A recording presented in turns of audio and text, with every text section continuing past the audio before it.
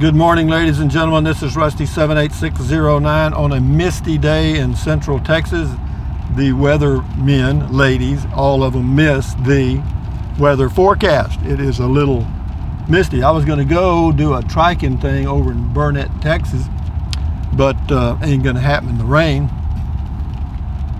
So I went by the grocery store, and folks, I got to tell you, as you know, most of you, near holidays, grocery stores are slammed, as in packed, as in crowded. And our grocery store up here was no exception. I mean, whoa, parking lot was full. Man, you know, I'm amazed at how efficient we are at feeding a large population. I mean, as fast as stuff is being hauled out, stuff is being hauled in. I mean, it's, uh, I know it's, it, it, it works, but you know, if there's ever a slight interruption somewhere in the supply chain, can you imagine? You know, and I'm sure some of you that live along the coast, coastal areas and have been in areas where there have been hurricanes realize that those shelves can get cleaned off real quick. And they do because I've been, I lived in Victoria, Texas for, I don't know, 10 or 15 years. And it's not on the coast, it's 21 miles inland. And whenever there was a hurricane uh, in the Gulf or projected to hit landfall and cause some disruption, boy, I mean, the canned goods and the water was gone. So, what does that have to do with RVing and triking and all that stuff? Nothing. I'm just killing time because I had a video planned and it didn't work out because of this sprinkling rain. But the trike, the electric trike from electrictrikes.com, the fat tire trike, uh, does fit in the truck. Uh, the way I removed the handlebars was not perfectly uh, correct, and Jason from Liberty, or excuse me, electrictrike.com pointed that out by saying that trike man learneth. Well, see, he's correcteth because if you end a word with ETH, then that adds credibility to that particular word because that kind of ties it into biblical speech.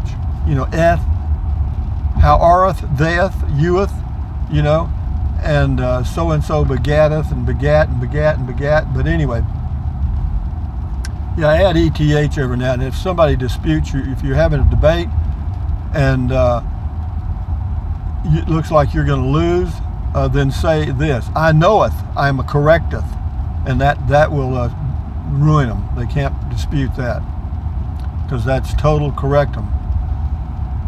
So, what's the plan for the holidays, Rusty? Well, uh, I have a plan to go to the Highlander and Burnet, and have uh, Thanksgiving. Well, and when I grew up, it was breakfast, lunch, and dinner. Okay, and now it's breakfast, well, dinner and, well, no, uh, when I grew up, it was breakfast, dinner, and supper. Sorry about that. And then it was changed around, so I sometimes get confused, but I'm going to have the noon meal, or approximately noon meal, with my oldest son, and maybe my grandson, if he'll show up. Who knows? He's going to school and working, so I don't know what his schedule is, but the invitation is out there, and if he takes advantage of it, fine. If he doesn't, that's life. And what else can I say? Guys, you got to enjoy every day the best you can. You can't let the world get you down because it's working all the time. It never lets up. You know, you go in a grocery store. Here's something I thought about. I mentioned it in, in comment call this morning for all you guys that are stuck in traffic. You know, it would be it would be an interesting exercise to see if you could defeat the frustration of being in traffic jams. Now, how could you do that? Well, uh, you know, you, of course, you've got your favorite music you can listen to. Uh, you've also got audible books that you can listen to. And then you could play mind games like, you know, kind of watching a certain car and seeing how stupid they really are, or seeing how stupid people really act in traffic jam situations. You know, like if you leave an opening a two feet wide, they'll squeeze in there to gain a two two foot advantage, and then all end up at the next red light waiting again. So, but be that as it may, This is today. So what have I got on my agenda right now? I'm going to go. You're going to love this. If you've ever eaten Amy's uh, chili, the low sodium chili, it doesn't have any meat in it. it it's all uh, beans and lentils and stuff, but it tastes just like chili, man. I'm telling you. And it's loaded with fiber and a lot of good stuff.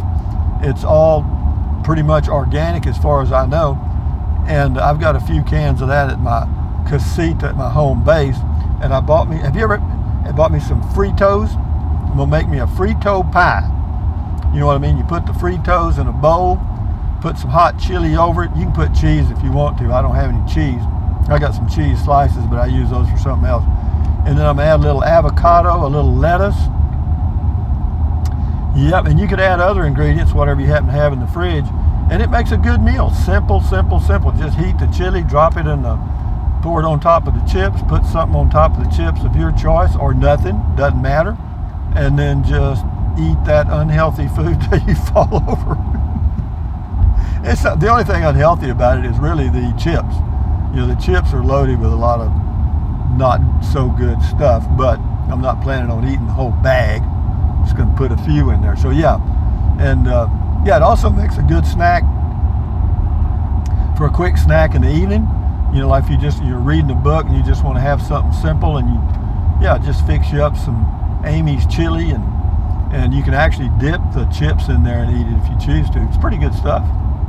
Amy's organic chili if you can find it. Amy's Organic Low Sodium Chili.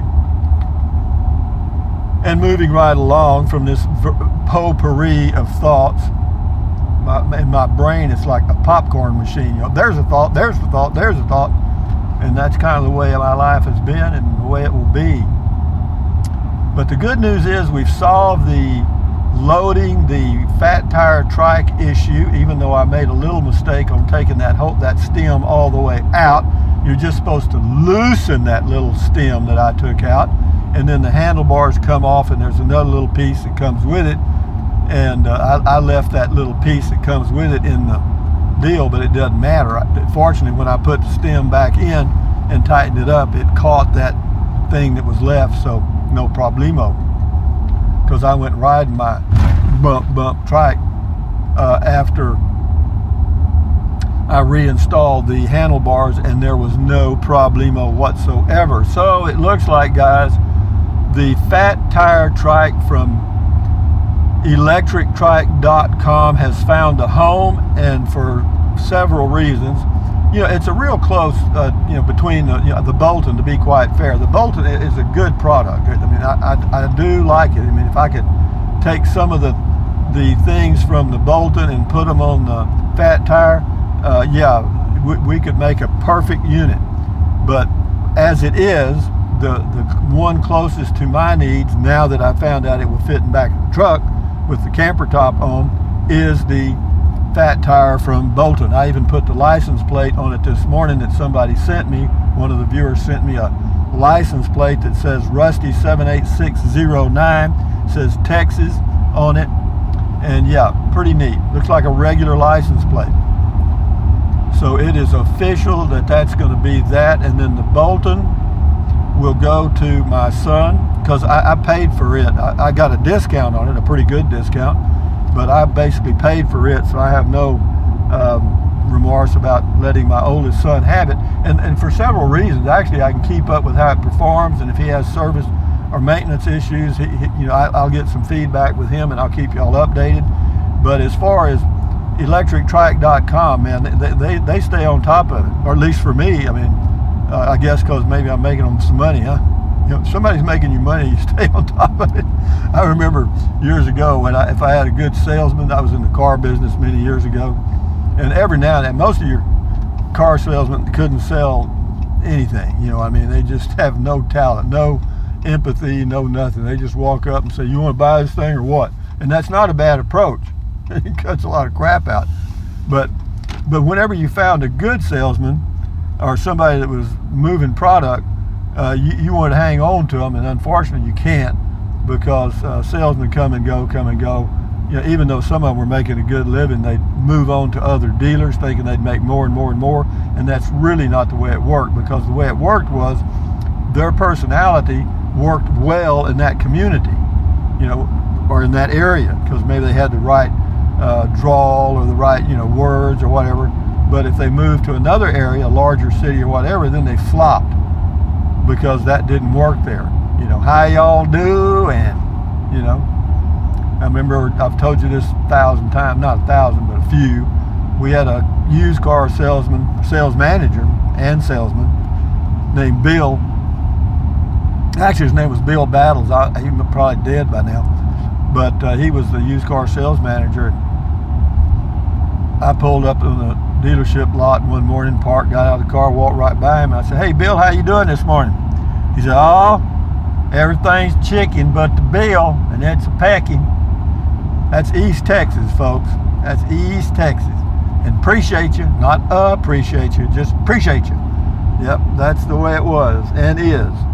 But old Bill, he, did he sell cars? Hell, I, would listen to him talking to customers, and he he didn't talk about nothing about the car. He talked about dog hunting, fishing, uh, you know, how's your house, how's the family, da da da da. You know, kids doing all right. And next thing you know, that guy that he was talking to was writing a check and buying a used car. Never felt the pain. So anyway, guys, now the rain's letting up, but it's too late for me to go change my mind now. But it's going to be, it's supposed to be 85 today. I, I don't see how it's going to make it because right now it's like 66. Uh, it could if the sun comes out, maybe. But 66 ain't bad.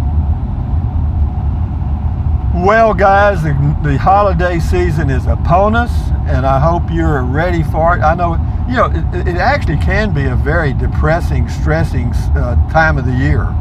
And why?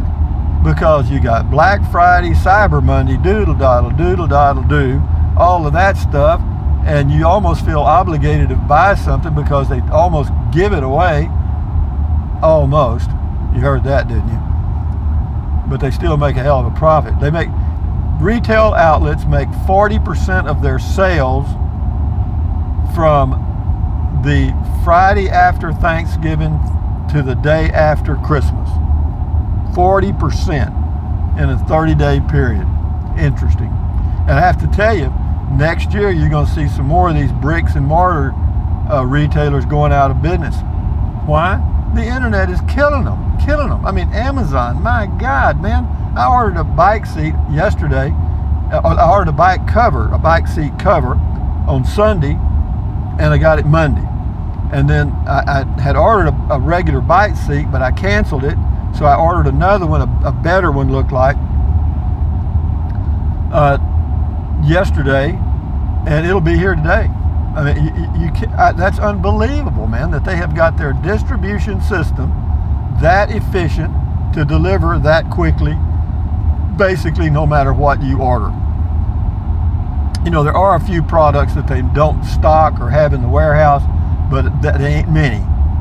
I mean, I'm, I'm impressed. And they, they, do their own delivery now. No UPS, no FedEx, no USPS, you know, Postal Service. They do it all and they do it quick. Amazing, man. Yeah, you know, cutting out USPS, I can understand why they did that because if the if it was going to, when I ordered something from Amazon, if it was said, well, you know, the, the last part would be delivered by USPS, well, I just added two or three days because it, that's about the way it worked out. And I'm not saying that's anything negative about USPS. Maybe it was the connection between the two companies or some computer computer issues or whatever. It doesn't matter. You know, it's just like anything else. You just look at how it ended up. And anyway, talking a lot, ain't you, Rusty? Uh, yeah, I am. Why not? I ain't got nothing else to do. Everybody else am I going to talk to? I've talked to those things in my RV, my, my group there behind me. You know, the, uh, Trenton Clump and Olive Oil and Popeye and Betty Boop and uh, Mr. Bojangles. Uh, you know, they're they're they don't even like to see me come in the RV now. They kind of try to hide. Come on down here, fella, in that old gray truck. You can do it. You can do it. Oh, hell, he's going off the highway. Well, he can't do it, I guess I don't know what he's doing, but it ain't good. No, he doesn't know where he is. He doesn't know if he needs to go left or right, so he's going to check Google Maps. anyway, on a roll here, guys, enjoying life one day at a time. And you know, sometimes it ain't easy to do that. But by God, if you try, uh, er, you know, if you wake up in the morning and you think, man, this, is, this ain't going to work, uh, let that dog hunt and then get on out of bed and say to yourself, man, what a beautiful day. Even though it may not be, just say it. It just sounds good. Fire around for effect, so to speak. But be that as it may for the seventh time. What else do I say? I say what I say a lot? Something. There's several words I repeat myself. That's all right. And, and I know I, I make many, many verbal mistakes. Or I'll give the company the wrong name and all that crap. I, that's the way I am, guys. It ain't gonna get no better. There's no pill for what I've got. So anyway, guys, thumbs up. Carpe diem, adios, bye, bye, buy anything you want anytime. But if you think about it, Use the link to Amazon products in the description of all my videos. Why? You know why. Drink plenty of water, three or four quarts a day won't hurt you. It's good for you. It'll help you avoid gout, kidney stones. Also help you lose weight because you'll be full of water and you won't want to eat so much like Frito pie. I'm looking forward to that. But anyway, what else? Take deep breaths. Breathe in deeply through your mouth or your nose. It does not matter how the air gets there. Just get it. Put, breathe in real deep. Hold it for a few seconds and then breathe out slowly. Why? Because that relieves stress, and relieving stress does what? Lowers your blood pressure. Is that good for you? Yes, yes, yes, yes. What else? Stretch, stretch, stretch, swivel, swivel, swivel. Exercise your body. Trike, trike, trike, or, you know, bike, bike, bike, whatever. Exercise your body once or twice a day. Why? Because you may live healthier a, a little longer. You know what I mean? It'll help your health. So what else? And then stand guard at the door of your mind. Do not let negative Nancy or negative Ned get inside of your perfectly beautiful head. Don't let them do it. Don't let anybody dump trash in your mind. Accentuate the positive, eliminate the negative. Enjoy your day like it's the first day of the rest of your life, which it really is. And uh, keep going, guys, with a smile on your face. Smile all the way through. And you know, if, if I was going to be buried in the ground and had a tombstone, I'd just have them put a little deal on it that says, I enjoyed it it ain't been bad. I've had ups and downs, but overall, I've enjoyed life pretty much. And I'm trying to enjoy it every day now. And I'm 74, so why can't y'all do it? Anyway, guys, from out here on this old bumpy road, let me end this video. So anyway, adios amigos. Bye-bye.